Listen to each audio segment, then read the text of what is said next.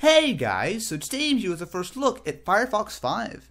Now what Mozilla aims to do with Firefox 5 and indeed all future versions of Firefox is get it on a much speedier release cycle. So instead of waiting 6 months a year for a major update to Firefox, it's going to be very similar to Google Chrome where you get a somewhat moderate update every month, 2 months, something like that. And the first thing that you will see with this is the new version called Aurora. Now, Aurora is, for all intents and purposes, like the dev channel on Google Chrome. Uh, you know, it's going to be, you're going to get features before everyone else does, but on the other hand, it's certainly going to be buggier and glitchier. So what I'm going to do, of course, since this is uh, version 5.0, this is currently the Alpha 2, I want to give you guys a little overview and kind of tell you guys a little bit about what's, what it's all about. Uh, the first thing, of course, there will be a download. I will have a, down, a link in the description. You can download the Aurora version. And they'll also have a beta once they kind of start getting everything in the pipeline. Of course, this is just really starting to come out, so this, there's no beta just yet. But uh, eventually there will be the Aurora, which will be like the dev. Then you'll be able to go, do the beta. And of course, just download the standard Firefox, uh, the releases that you always do. Uh, so what I want to do is give you guys a little overview about the uh, browser.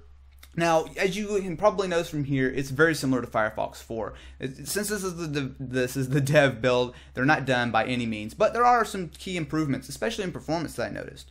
Uh, so I was able to run a few tests. Now, keep in mind, this is not my full range of tests. I didn't have that much time to do everything. But um, in my quick testing, I did notice that uh, Firefox 5 had some pretty significant performance improvements. So in the SunSpider benchmark, it actually was a pretty nice jump from Firefox 4. It actually bested Google Chrome, the current uh, version 10, the non-beta or non-dev or anything like that. So just the standard version of Chrome was actually able to beat out in the SunSpider benchmark.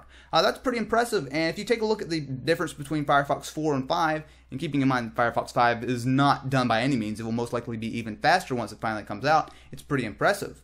Now moving on to the Peacekeeper benchmark, Google Chrome pretty much still stomps uh, Firefox.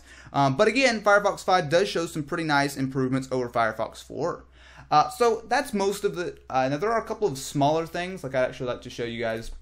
If you take a look, uh, one little peeve that I always get annoyed with other browsers that since I always use Chrome is that when you have like a lot of tabs open and you start to close them, well they always resize. So like let's say I want to close all these, well, I just start smashing the, the close button and it just closes. But as soon as I pull my mouse off, they will resize. So that's just a really small thing that I noticed with this new in Firefox 5. Certainly not a big deal, but as you can see, they're working on little improvements, little you know speed bug fixes, all that kind of good stuff. So anyway, guys, that's about it for my first look at Firefox 5. I definitely stay tuned to the channel. Once it gets a little bit farther along, I will do a new browser test, compare it to all the major browsers, and all that kind of stuff. And if you guys are interested, you can go ahead, hit the link in the description, and download it for yourself.